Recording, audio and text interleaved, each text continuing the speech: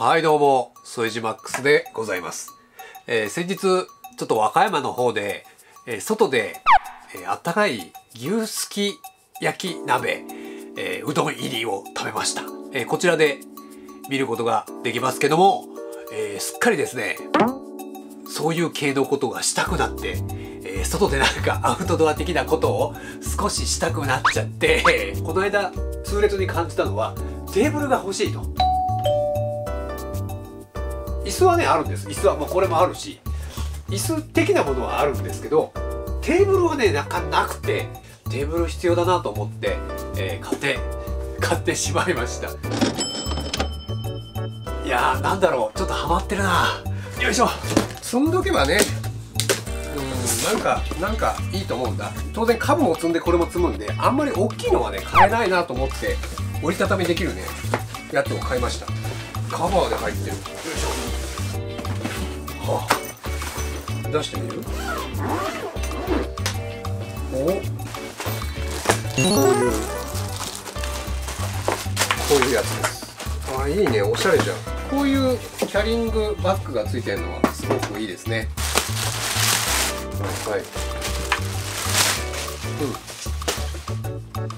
さあこれどうやって組み立てるんでしょうか？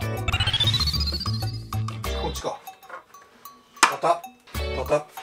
パタッ。このくらいの大きさでした。で足を出すと。あ簡単。簡単じゃないとダメだけどね。こうか。こうですか？こうですね。ここに入れるんだね。ここにこう。よし。まあ椅子置いてさ。まあまあまあまあまあまあ座ってみたいな。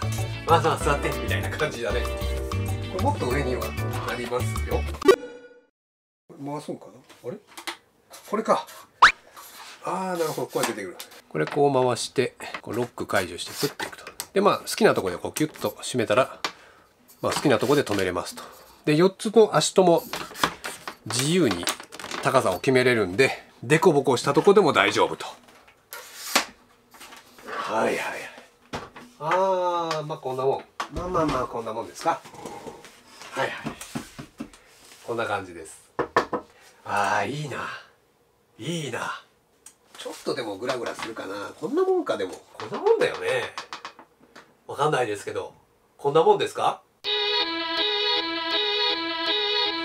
まあテーブル面はすごくウッドでいい感じです。予想より綺麗ですね。もうちょっとボロいのが来るかなと思い思ってましたけど。全然ボロくない思ってたより綺麗なものが来ましたね。もう 0.5mm 分厚かったらもうちょっと高級感は出るかな。この薄さがちょっと 安さかな。まあね折りたたみだしね。変に重くなってもね。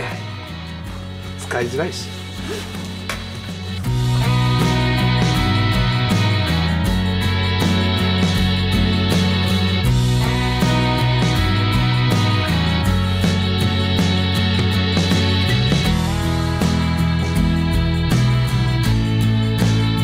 天気がいいと外のご飯が気持ちいいです。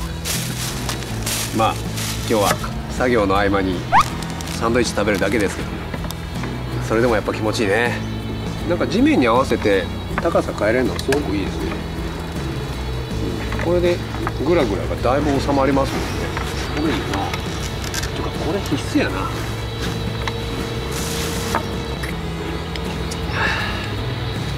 まだ暑くもないしね蚊も来ないからちょうどいいよ。